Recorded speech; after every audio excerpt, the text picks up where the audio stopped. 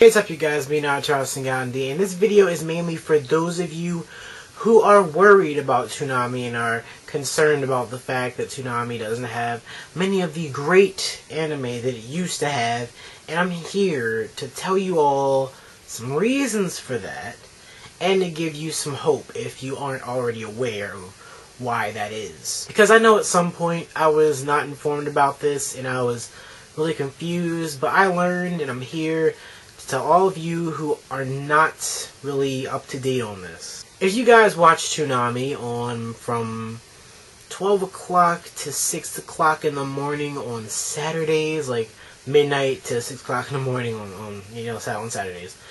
If you watch Toonami, you will probably see a little commercial, like a Toonami commercial that says that they want to have new anime. They are trying to get new anime.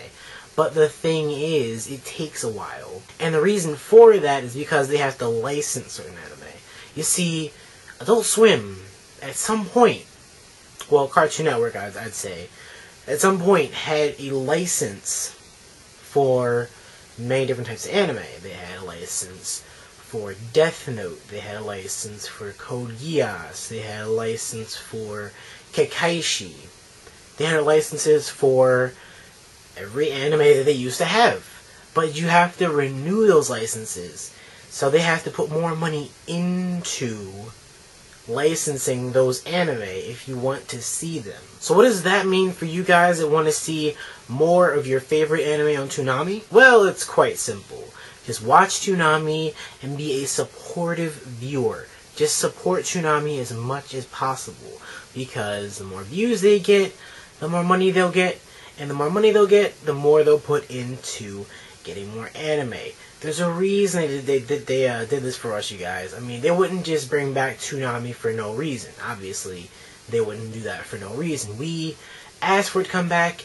We got it back, and some of us I, I, I'm seeing aren't very happy with it because they're like, oh well, where's all the bullshit that I used to watch? You know, where's all the Naruto that I used to watch? Where's all the Dragon Ball Z that I used to watch? Where's all the Yu Yu Hakusho that I used to watch?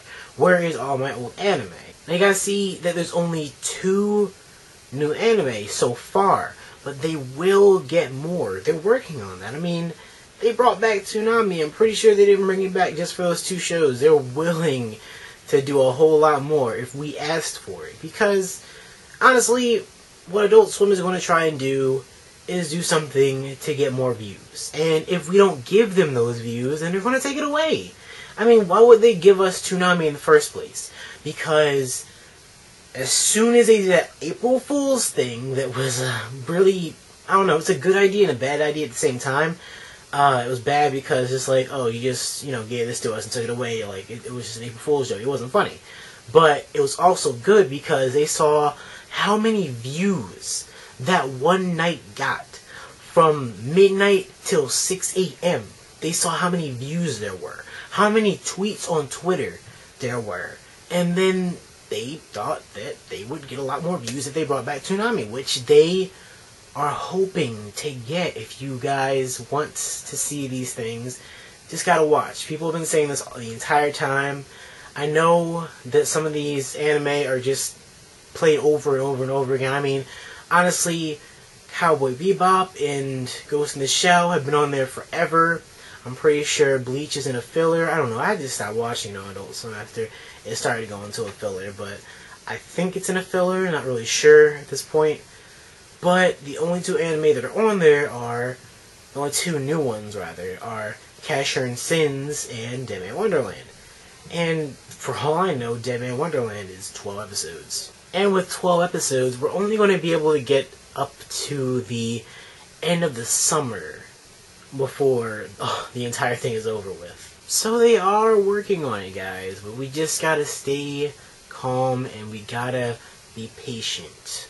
And if you want to help out even a little bit more, go on adultswim.com, comment to them, send them messages, mass message them, tell them what anime that you want to see. They'll always be glad to bring back some of the old things that they had because I mean, it shouldn't be that difficult to get back some old licenses. But they'll also be giving us the newer things as well.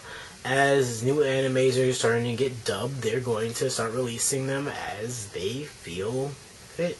But come on, you guys. Toonami is what it is.